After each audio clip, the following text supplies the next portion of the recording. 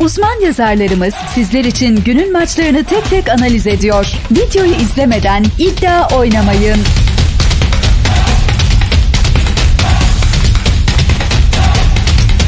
UEFA Şampiyonlar Ligi son 16 turu eşleşmeleri rövanş mücadelelerinde, Real Madrid ile Liverpool bu kez İspanya'da karşı karşıya geliyor. Ev sahibi Real Madrid, deplasman ekibi Liverpool'u ağırlıyor.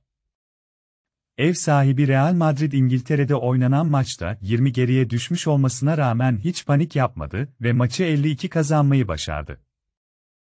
Liverpool korkunç bir oyun oynadı ve rakibine hiç karşılık veremedi. Geçen hafta sonu alınan farklı United galibiyeti biraz olsun takıma özgüven vermiş olsa da, bu deplasmanda şansı yok.